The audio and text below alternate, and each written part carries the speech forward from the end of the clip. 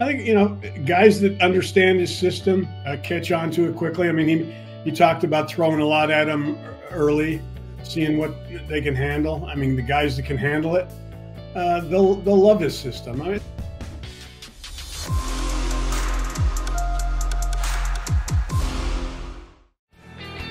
Welcome back in, everybody. A Coordinator Friday edition of Birds 365. We are joined now by Paul Domowitch, Hall of Fame selector. Paul, welcome to the show, man. Thanks, guys. Good to be here.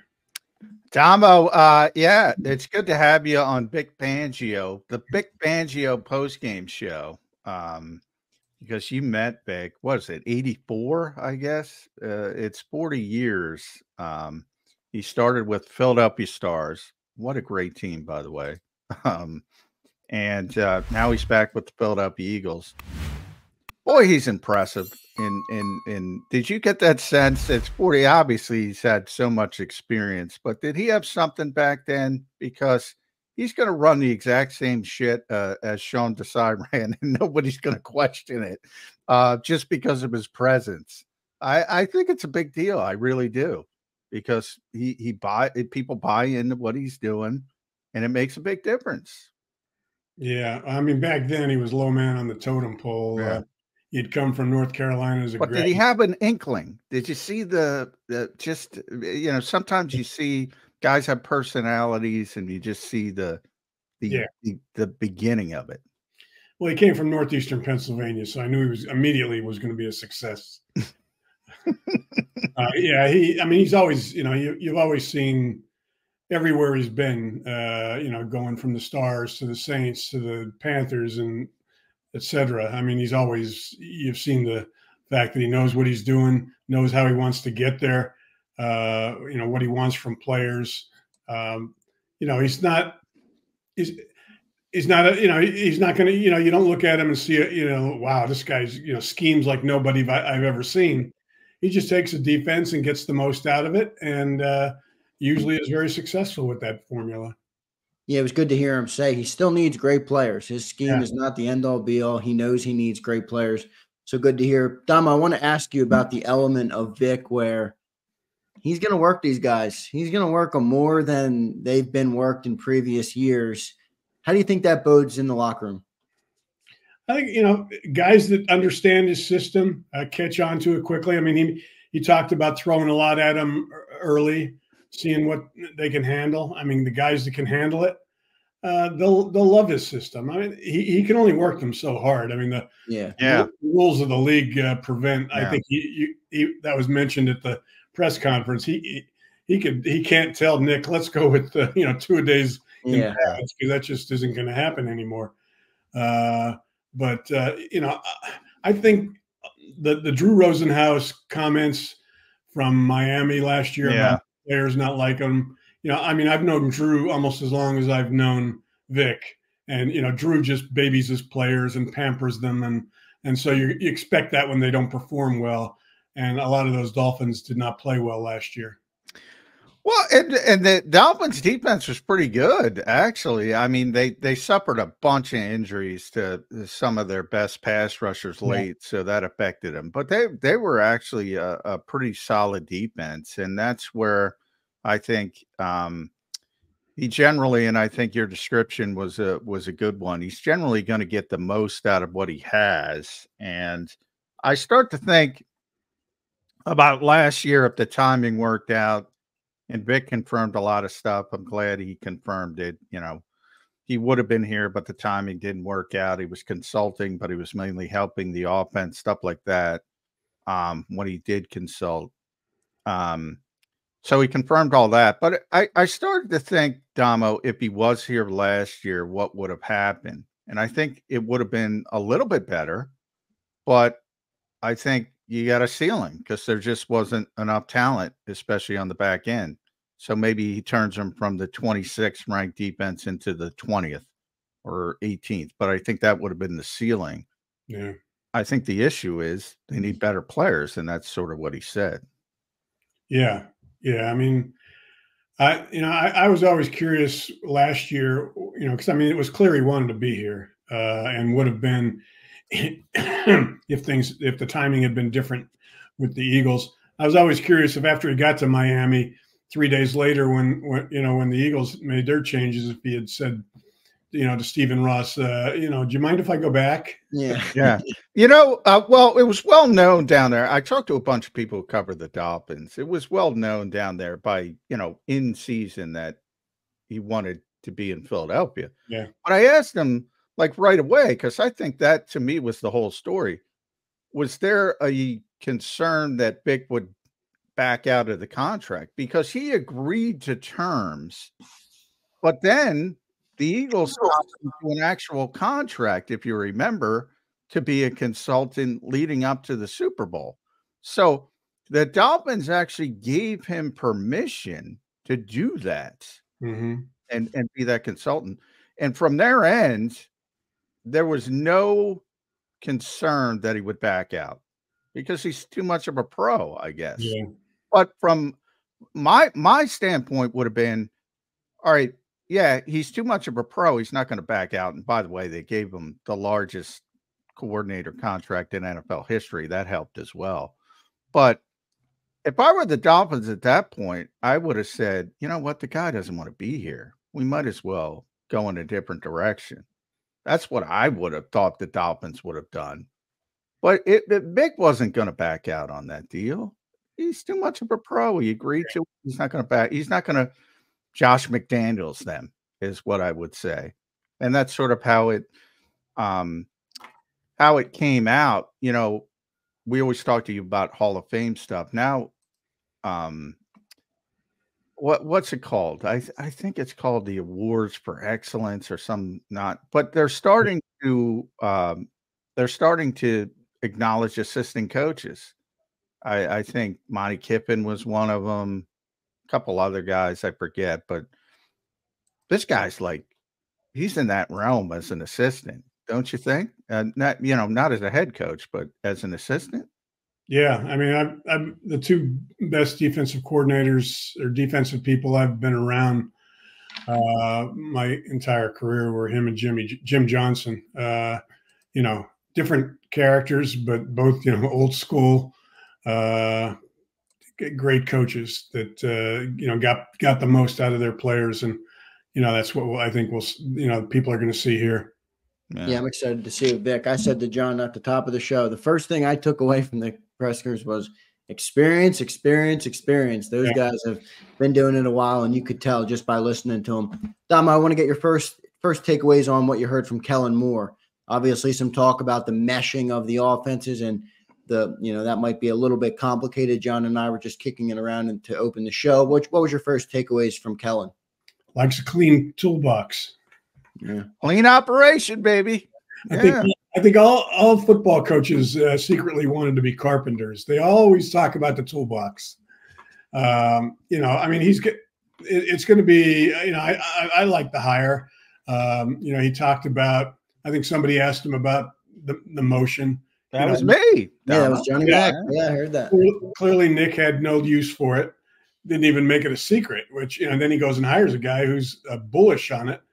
Uh, and, and, you know, so I mean, it's going to be good to see an offense that actually uses it. Uh, so uh, you know, I, I, mean, the big the big thing we're going to wait to find out is the, the impact he and his and Nussmeier have on uh, the, the, quarterback because everything revolves around the quarterback this year. You know, all the pieces are in place. I mean, this is this is a, I mean, this offense has more talent than uh, you know probably any team in the league, but it, it needs that quarterback to play like he did two years ago um, to make it all work. So uh, you know that I'm going to be interested to see the relationship develop between uh, Kellen Moore and and and uh, Jalen. Yeah, I, I think that's the biggest story of the year. Um, and and not so much Jalen, but the relationship between uh, Nick and Kellen Moore, because and, and Zander and I were talking about before you hopped on, Tomo. I'm like, look, if you believe in a guy like you believe in Vic, you let him do his job. If you believe Kellen Moore's the guy and you yeah. wanted to change, you got to let him do. And and he was speaking like he's got to have feet on both sides of the fence and the fact that, well, you you you could do your stuff you want to do with the motion and that kind of stuff, but we're good at this, so you got to put that in there. And and my whole take on that, Damo, is well, if he's really a good offensive coordinator, that's going to come naturally. He's going to understand what Jalen Hurts does well, and the RPO stuff's going to be a part of it. I don't like the declaring if that's what's going on. That oh, you got to keep this. You got to. I, I I don't think that's going to work. Your thoughts on that? I mean, I don't. I don't think Nick's going to push a lot on him because I mean, I, you know, Nick reports to people that love this hire. So, uh, you know, I don't. I don't. I mean, I, I think Kel, Kellen Moore's 35. He knows what he doesn't know as well as what he does know. Uh, so he's going to be, you know, he's going to be uh, receptive to what Nick has to say but he also knows that he's pretty much got that offense right now. It's his to run. Uh, and I think Nick is smart enough to know that unless, and I, I don't foresee it, but I mean, unless this thing just completely caves in, uh, you just keep your distance. You let it, you know, you encourage him. You, you, you know, you sit there and you applaud the, you know, whatever he has to say, and you know, you make a suggestion here and there, but you don't push uh, much on him. I mean, he, he's smart enough to know things uh, that, that they did well last year that he might want to implement. Uh, so I don't, you know, that that's what I mean. Nick Nick cannot. I mean, Nick needs to be the CEO coach uh, this year. Yeah, I agree, but I, I do question. Well, I'll disagree with Johnny Mack in that a perfect example is the motion. We've talked about the offense last year as as as mad as fans were at the offense, the offense was not awful by any metric. They were, I think, the eighth ranked offense or yeah, number whatever. eight. Yeah, number eight. If you take that offense and you add a guy like Kellen who can add motion, who can do do some of the things the Eagles didn't do well, don't you think that would make for a more all encompassing offense that works for the players in the room? Well, I disagree with you in, in one respect, Zander. The last six, seven games when that that you know when they when they went into their nosedive, the offense did not play well. Oh uh, yeah, that we couldn't protect. I mean, you know, Jalen went into a funk. Uh, didn't seem to know how to handle uh, uh or blitzes. Uh, became a sitting duck. They become uh, he became obsessed with the deep ball. So they need to, you know, I mean, so so there i mean it, it, wasn't like everything was fine and you know now they got a new offensive coordinator uh, so they, they do need to make adjustments uh, you know so that uh, yeah that's where you're saying a new voice might benefit them more. Yeah. Yeah. Yeah when it comes to Jalen i don't think there was any doubt that this team got um fell in love with the big play too much and was always trying to push even when defenses made adjustments and tr- trying to take that away and did take it away they were trying to force the football down the field too much especially in blitz situations where you know people would get frustrated they have no hot routes down they have no hot routes um and they're always trying to run verticals down the field seattle perfect example of that where if you just take what they're giving you, you win that game. You just meticulously march down the field, uh, you win the game. And they're trying to push it and they're going off script and he's throwing into double coverage. He's underthrowing AJ Brown. They lose the game. So I, I don't think there's any question about um, they fell in love with that. And and the lack of motion was just weird I, I think it goes back to Philip Rivers because Nick loves Philip Rivers and Philip didn't like motion. And Philip was smart enough to, you know, decipher things through formational tricks. Um, and that's what he was comfortable with. And I think Nick got comfortable with that. And it's like, well, now you have a different quarterback. You don't have a guy who's been playing since the dawn of time, uh, who understands everything. So I think that's the problem there but when people get caught up in play calling and lack of motion, and I go back and I was just telling Zander what it, it, it, Kellen was asked what what's the most important thing for you as a play caller on game day. He said clean operation. Not talking about a play. He's not talking about motion. He's talking about execution. He's talking about understanding what's going on, not throwing into double coverage, clean operation. To me, that's about teaching during the week. It's not sexy. You know, people want to see the motion and the Right. and the and the and and all the great stuff, but it's about doing it right, not about doing it right with aesthetics. I guess is my take. Your belief on that? Yeah, I mean, I I think both Vic and Kellen said the same thing about you know the importance of you know I think Vic the way Vic phrased it was you know we if we start to struggle in a game, don't expect me to scheme us out of it. We're Yeah, gonna, we're gonna exactly. go back to basics. Yeah, do do what we do well and and and and and do it that way. And I think Kellen Moore has the same philosophy on offense. Uh, you know, I mean, th- he's not going to try to get fancy if, if when they're struggling. Uh, I mean, they're going to do the things that they, you know, that he finds out they can do well uh, early on here, and and use that uh, as their basis uh, going forward. I want to Yeah. ask both of you guys this question. Do you think Nick and John, maybe this is partly why they're they want to have so much cohesion on offense or the meshing of two systems? Do you think with these these are these coordinators are a lot different than the previous coordinators they've had? Do you think Nick is starting to feel like he could lose control in a way where you have now I got Vic Fangio. He's clearly the boss on defense if I give the offensive reins completely to Kellen and they have great success, do you think he might be feeling a little bit of really being neutered and and not having success and really not having a leg to stand on if something either goes well or goes wrong? I don't think he should. Uh, I mean, I don't know what's going on in Nick's head, but I mean, there are a lot of CEO coaches in this league. I mean, it's the best way to run a team, in my opinion. yeah, me too. you know, is, is you know, you have coordinators, uh, you let them do their thing, and and you're looking at the big picture. You know, you're uh, on game day. You know, you're overseeing the whole thing so that you know how to, you know, what's going on out in the field. If you have to make a a snap decision regarding a challenge or uh, or what to do on third down. Uh, you know, but you let your your coordinators basically run things and and you oversee it. Yeah. I always go to Kyle Shanahan, Damo. I'm the biggest Kyle Shanahan fan in the world as a play caller, play schemer. I think he's the best. He's got the best feel. Um, he utilizes players better than anybody else. Um, and I think he's a bad head coach at times because he's a terrible game manager. And he's a terrible game manager because he's bogged down with all that stuff. Why can't he import that to his top lieutenant and say, "This is what I want done," Yeah.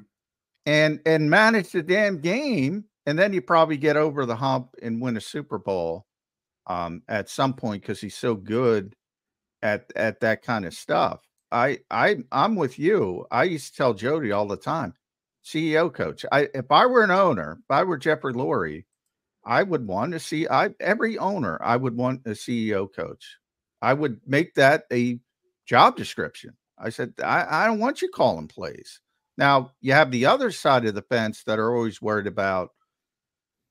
Well, if you have a great play caller and you lose a play caller, I think it's BLG, our buddy Brandon Lee Gowton, I think has the best uh phrase. If you're a good team, you're going to lose coaches. Just Yeah. accept it. That, that, that, that, that- that's part of it. I, I, people get all what, what, what if Shane Steichen was still here? It's not going to be. You went to the Super Bowl. That's the way it works. You lose. They lost uh, Frank Reich and, and John DeFilippo after they won the Super Bowl. That's that's what you should be striving for to lose assistant coaches because that means you're really good and really successful. Yeah, I've never bought the. I mean, when you had so many teams obsessed with hiring an offensive head coach, that was their that was their thinking. Well, if we if we only hire a guy that we think is a genius as our offensive coordinator, somebody's going to steal him the next year. Yeah. Well, so what? There's there's there's there's a, there's a dozen other offensive geniuses out there. So, um, you know, I, I yeah, I mean, I you, you hire the best coach. I mean, Dick Vermeil when he finally won a Super Bowl in St. Louis uh, was a CEO coach. Uh, Yeah. You know, you look down the, you know, you can. There's just dozens and dozens of successful coaches. Tom Coughlin. Tom was a guy yeah, who, exactly. and I, I actually talked to Tom once because I, I gave him that theory. This is many years ago. I because I said, why aren't there more CEO coaches? And he, at which I, I didn't think about it at the time. He said, well, when you first get the job, you you have to, you know, sort of set the stage in the building. So you want to be on charge on one side of football. So I did take that under account. And then as you get a foothold in the door of the organization, you grow more comfortable, you can morph into the CEO coach. That was his thought process. I'm paraphrasing, which yeah. I found interesting. Um, but yeah, I'm man, if I, I if I think I'm a good head coach, he's got to be a part of everything. Yeah. Like I Sean agree. McVay, I went, Damo, sorry. When he first got that job, you can go back and watch games, the Rams games. He would leave when the defense was on the field, he would go sit with the quarterback and not even pay attention. Yeah. And Wade Phillips would be running the defense. It was probably good, but um, yeah. Um, I, I don't like that. I that's not what I want out of a head coach. I think you're the head coach of the football team, or you should be. Yeah. It's tough when you're when you're when you're interviewing for the job if you say, Yeah, I'm probably not going to deal with either side. I'm going to kind of oversee. I'm going to hire a good guy. I mean, hiring hiring hiring good assistants is probably the most important part of being a head coach. If you have a good staff, you'll succeed. Uh, even if you're even if you're a screw up, you'll probably succeed as long as you stay out of their way. Yeah. Uh, but it's you know, I, I, mean, it's the same thing in any workplace. I mean, you hire good people and let them do their job. Uh, you're probably right. going to be very successful. If you don't, you're not. Yeah, I think where I'm going is the the recent history, right? I mean, Andy Reid won the last two Super Bowls. He's calling plays. Who'd he verse this year? He versed Sean, um, Kyle Shanahan, who's calling plays. John talks about Sean McVay. He won a Super Bowl three years ago. So I think maybe that's you know I think both of them can work, but I don't I don't disagree that being a CEO head coach is probably the better perspective. But in an offensive NFL where they're changing rules where the defense can't do as much, I do think there's there's still a a big focus on having that offensive minded head coach, and that's where I wonder if Nick is doesn't want to completely lose control of the offensive side of the football. Yeah. Well, I mean, I think he already has, though. Yeah. yeah. I mean, and I Andy Reid is probably the exception, not the rule, but he is the one winning Super Bowls right now, and he's, you know, he's still a man in that offense. I think the reason, the, the one reason a, a head coach doesn't want to let go of something is because he might feel insecure about his job, secu- you know, situation. Right. Which maybe Nick does feel after last year. Well, I don't know. I don't know what's going on in his mind right now. I don't know what they told you. Know, I don't know how the I don't know how the offseason this uh, uh, relationship changed between him and Howie and, and Jeffrey, if it did at all. Uh, whether he's going into this season believing he's on the, you know, uh, I, am sure he's going to be on a lot of on the hot seat uh, uh, lists in the preseason. Yeah. Should should he? I don't know. I, I don't. I don't think so. I don't. You know. I don't think it changed with Howie uh, yeah. because if you go back to the, they look like you know, they look like they got taken to the woodshed by Dad, yeah. uh, and both of them after the collapse, and you know they look tired and beaten down, like they just got yelled at for twenty four hours straight, and yeah. you know as we go by through the draft, now they're back buddy buddy doing their two man comedy show up at the uh, podium. I, I think they're fine. I think maybe it shifted a little bit with Jeffrey. They mm-hmm. found out that, you know, all right, we can't make dad unhappy. Um, I but who knows? We'll see how that shakes out. But I I, I think him and Howie are still on the same page. I really do. Yeah. Um, yeah, they seem to get along well, which is helpful. Yeah. Dom, I want to bring you back to obviously the, the the other thing that was being widely talked about yesterday was Chip Kelly and the the, the what LeSean and Sh- and uh, DeSean and Shady talked about on their podcast. Just bring us back to when you covered the covered the team with Chip Kelly. What What are some of what you remember from covering Chip Kelly? I know that was right before John started covering the Eagles, but anything that you remember that just sticks out at you like a sore thumb, especially after hearing the comments that that DeSean and Shady had yesterday? Well, I mean, the thing, the, the few things that, that that I remember about Chip, uh, I mean, one, he was scared to death of the media there uh, here. Uh, he, he get when it would go out to their to those press conferences in the tent on the field and see so many. I mean, you know, he, he, he had never seen crowds like that. It is daunting. And Yeah. it scared Yeah, the I hell out of I mean, it, it's why you know the, the PR staff suddenly started turning down. I remember shortly after that, Harrisburg wanted a credential uh, to cover the Eagles, and they wouldn't give them one because because uh, the the PR guy at the time was afraid of of, of the, you know how Chip would react to uh, the crowd getting even bigger. Um, but I mean, I liked, I kind of got along with Chip. Uh, if you asked him an intelligent question, he gave you a very intelligent answer. Uh, Yeah. but he just was you know i mean his his downfall was that he did not know you know how to deal with people uh his relationship inside the building with players i mean he's not a guy that gets warm and fuzzy with people or or even he's not a guy that even likes to to to you know do small talk and that ultimately was why Yeah. jeffrey you know i forget what the term jeffrey used at the time Emotional intelligence. that's right Yeah. uh, he did not have that uh, Yeah. you know Well, so- I, I get a kick out because I was I wasn't there every day, but I was back and covering the league more nationally. So I'd be down there once in a while um, at the end of Chip, and they still let us in the building at that time, Damo. yeah So um, Mhm. and I remember what I first remember is he would make no eye contact at any point. Uh, now, you know, you would think, and then Doug showed up the next year, emotional intelligence. And I remember I was walking down the hall, I think it was with Ed Bank and Ed Benkin, uh, at KYW, ESPN now. Uh, and Doug said hi. And I'm like looking around. I'm like, Hmm. oh, the head coach can talk to us uh, because Chip would just keep his eyes down. Um, and yeah, that to me spoke of emotional intelligence. Um, it's just the little thing, but yeah, he was he was a weird dude, but I give him credit. He brought a lot of things to the NFL that they still use today. I, I think he had no filter.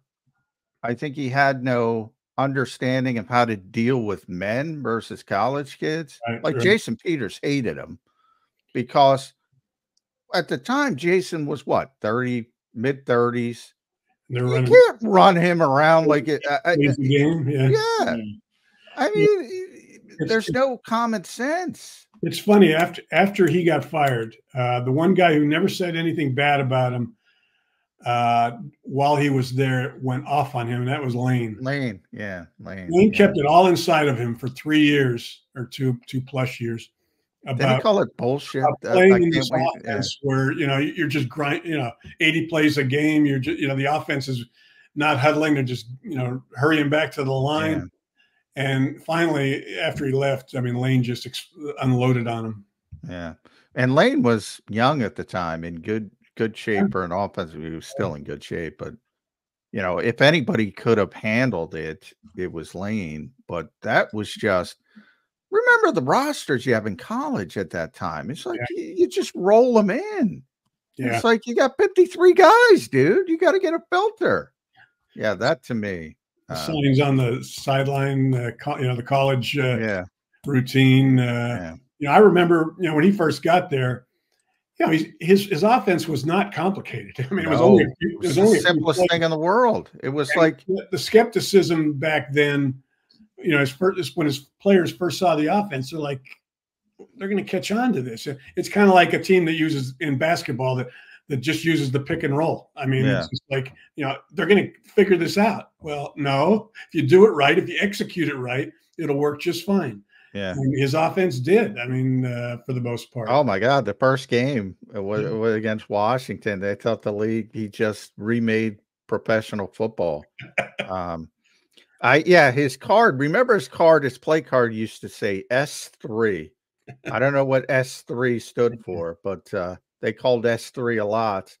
Um, and everybody else has got these cheesecake factory menus, uh, play Yeah. call sheet, uh, Chip's out there with this little tiny thing. Yeah. Yeah, it was the simplest thing ever. But what he did bring the sports science stuff, the the that kind of um, you know, the the lighter practices that that that is all taken hold in the NFL. Um, and he really was at the forefront of that, but he just could not deal with people, especially people with, you know, they're adults and professionals and they make a lot of money. And you can't you can't handle them the way, same way you handle some 18 year old kid um, you know, going to college for the first time. You Yeah. just Sounds like couldn't he was figure higher out. IQ and lower EQ. I think that's what you call it for emotional intelligence. Yeah. Yeah. Yeah. Mm. Um, but uh yeah, I think he was a better coach than people give him credit for. They did make the playoffs what twice, Damo? Yeah. 10 and two 10 and 10 win seasons. Uh, Yeah. You know, he probably doesn't go if he knew how to get along with people better. I wonder Yeah, if he would have been a better coordinator. I mean, John, you talk about how some of his offensive philosophies are still used today in the league. I mean, Yeah, he we're couldn't gonna manage the people part. be- he couldn't be the head coach part, Yeah. but he was, you know, he was a smart guy, maybe a more introverted guy. I, I got the weirdest question yesterday. Is is is Vic Fangio going to be more like Bill Davis? I got uh, a Chips defensive coordinator. I'm like, I, I don't get uh, no, he's not. I said, uh, you've been you've been watching the Vic Fangio scheme for three years already. For people that don't know, you're just getting the guy who created it and probably can teach it better. Um, but yeah, Chip didn't even care about defense, did he? He he wanted he he, he wanted to he, he thought Travis Long was better than Brandon Graham. Yeah. Uh, yeah, that would that was that was the other part of the podcast that they came out that he also wanted to get rid of Brandon Graham and Jeff Lurie stepped in. That was that would have been that would have sucked. if Travis Long didn't tear his ACL two consecutive years, Brandon Graham would have been out of here. Yeah. Out. I believe it. Yeah, I mean that's why Shady hates him. I mean that's some. If Shady, you know, if Shady didn't get traded, he probably still think Chip's a pretty good guy. But Oh yeah. Oh yeah. Yeah. He I went mean, to he was, he was I think he was an all pro two years in a row with with with chips. Well, also. Shady, Shady said he was trying to. I, I, what did he say? He was trying to kill me I, because he went to Buffalo. No, I mean, look, I, I'm, I don't want to live in Buffalo either. But I, uh, Jordan Matthews had the best quote when he went to Buffalo. Uh, he had a baby, and he said, called it a Buffalo baby. He said, "What the hell else am I going to do?" uh, but uh, yeah, I mean, Buffalo's a pretty good team. I, I don't want to be there, but I don't think he was trying to destroy Le- Shady's life. But uh, boy, those guys really hate him. Uh, Yeah. I, uh, yeah. Well, Damo, let me ask you because they're, you know, I, I, I agree. I, I, I liked hearing a lot of what you thought about him when you were here, but did you see any racial undertones? Obviously, they brought that up on the podcast that he was uncomfortable around black players. The NFL is obviously a, a, dom- a black athlete dominated league. Did you did you notice any of that from your when you were covering him? he was uncomfortable around everybody. Yeah, exactly. Uh, I, Yeah. No, I did not see any racial. Uh, I didn't see any prejudice or uh, problems with that. I mean, I you know, I, like I said, I don't think he could, he had problems dealing with everybody. So Yeah, he was an introverted guy. It sounds like. Yeah, yeah. int- I guess. Yeah, that's w- one word. I mean, anybody that would you go down the hall and like you pass somebody, and even if it's your owner, and you don't even make eye contact and say hello, Right. That's what I said. He doesn't make eye contact. that's when you know you got a problem. Right? you know, I don't want to, you know, yeah. Emotional. Jeffrey coined that. Some of some of these times when Jeffrey does these uh dissertations, he does. He comes up with some interesting terms. That that was one that hit hit the nail on the head. He should get credit for that one because he had no emotional. Well, that's that's the benefit of a Brandeis education, right there. yeah, right there. Well done, Jeffrey. That was a good one. Gold standard quarterback factory. Um, I Howie was quarterback factory. I Yeah, can't blame yeah. Jeffrey for that one. Gold standard that didn't work out. Yeah, pretty good standard, but not gold. Yeah. Paul Domowitch, everybody, make sure you follow Paul on Twitter at P Domo. Been covering the Eagles for a long time, a Hall of Fame selector, has always done great work. Domo, I want to ask one more question before we let you go. Sure. If the bar's here, this is I feel better. This is, I feel, worse. What do you think after the after the coordinator spoke yesterday? I'm not going to let you choose. I feel the same. It has to be at least a little bit this way or a little bit this way. I feel better. Uh, I mean, I guess I'm being selfish by looking at it from the media standpoint. I think these guys are going to be, especially Vic, is going to be a little bit more candid and honest uh, rather than go into those weekly press conferences that uh, John's going to be attending with the attitude that I, I, have to say as little as possible or give them as little information as possible. But I, you know, I think this offense and defense are both going to, you know, I, along with what Howie has given them. Right. I think this is going to be a much better team this year. Yeah, uh, I'm with Damo. I'm a I'm a big Vic Fangio guy. He's going to get the most out of. I, I I don't think they're good enough defensively, talent wise, but I think he's going to get the most out of what he has, yeah. and that's the definition of good coaching to me, anyway. Yeah, I liked what I heard from the coordinators yesterday. Uh, Damo, thanks for joining us, man. We appreciate it. Thanks for having me, guys. Take care. Have a good weekend. Thanks, Damo. Uh, John, real quick before we get to a break, did Vic address that at all? The the talent level on the defense. I know he's obviously talked about he needs great players. You just said it. Yeah. well, I think you know yet. if you're going to nitpick, um, and I thought it was a pretty impressive performance. But if you're going to nitpick one thing, he was asked about the linebackers, and he fumbled coming up with the names. Like he, he had to get the roster Zach out. On, I mean, yeah, he, he had to get the roster out, and we were throwing out names to him. I'm like, oh boy, this like because we've been talking about that a lot this week. This is not a good linebacker situation. No, it's not. I don't care. I mean, look, I I get it. Football people have to be optimistic by nature. Um, but when it comes to, I know my buddy Ed Kratz is like high on the linebacker. But I'm like, how can you be high on this freaking linebacker situation? You can hope, you can hope as Howie will say, hope is not a strategy, but you you can cross your fingers and do all that stuff and get out the rabbit's foot and say maybe things. But if you're being objective, this is not a good linebacker situation compared no, to the rest not. of the league. I mean, let's be honest here. The Eagles are talented at a lot of positions.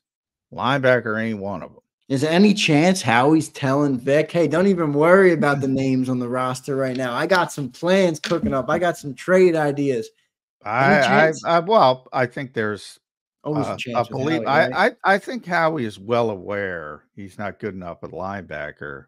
Um, and we saw what happened last year. It was the same situation with Zach Cunningham and Myles Jack coming in in August. Yeah, Shaq Leonard coming in to save the day. Yeah. Um, Um, so I think Howie's well aware, uh, but I don't think that's the reason Vic was fumbling for the names. I think it was like, ugh, ugh. that's you know, and, uh, and boy, I mean, the more I get a feeling, not like Devin White is the tent pole of that group. Like the, the, Eagles believe Jeremiah Trotter Jr. And again, we talked about fifth round picks. They believe he's a a, a Mike linebacker, a a old school, uh, not old school, but uh, a Mike linebacker. He's not. He doesn't have that versatility. They don't want to play him at will. Is what I'm trying to say. Um, and if that's the case, he's pushing Nakobe Dean. He's not pushing Devin White. Um, which means you know they're probably not, and they shouldn't uh, put all their. Uh, Nakobe's not. I think a lot of people, myself included, before I started getting back down there, thought, well, he's the guy who's he's going to be there if he's healthy. I, I'm not sure of that anymore. I, I think they're hoping he gets pushed. Um, and Devin White's the one guy where he seems penciled in as a starter, which is frightening. If that's your that's your guy, and that's that's the only guy who's penciled in. That's a bad situation. That's a I mean, that's why Vic doesn't know any of the names. and Zack Baun, yeah. I mean, Howie's talking about Zack Baun like he was going to be the Andrew Van Ginkel uh, which is more of an edge player and the flat defender, and and which yeah, Vic likes to drop edge defenders in coverage, um, which fans will love. Um, I think that's he, overblown for what it's worth. I mean, no, it's completely be, overblown. There's always going to be nuance in every defense. There's always going to be sometimes a play that's Haason Reddick yeah. dropped seven times into coverage under Matt Patricia. He eh, before there was one outlier of a game where he dropped seven times. Otherwise, it was three times, two yeah. times, 50, couple. 60 plays. I mean, yeah, it, it's so overblown. I'm with you 100%. I just, you know, people lose their minds. Yeah, you read Twitter it. and you would think Haason Reddick's yeah. Haason Reddick covering the wide receivers. Yeah, they just lose their minds when he. Uh, it's not a big deal. I just meant fans are not going to be happy with it. But yeah, he mentioned Zack Baun first. I I don't know if that was his stumbling around, but he thinks he he made he he was very clear that he thinks he can play inside linebacker, off ball linebacker, stacked linebacker, whatever you want to call it. Isn't that, isn't that where Nakobe is, or not Nakobe? Isn't that where Devin is slotted? Well, there's that the Devin slotted right now on the weak side, the will linebacker. You have two off ball linebackers. Okay. Um, yeah. and and the middle linebacker, the weak side linebacker. Right now, Nakobe is projected to be the starter at middle linebacker. Devin is projected to be the starter at weak side linebacker. You mentioned Zack Baun first and specifically said um, he believes he can play inside. He said he hasn't done it a lot. He played more outside New Orleans when he did play, but he thinks he can play inside. Um, and then he went to Devin White, and then he had to stumble around for the other guys, um, which is not good.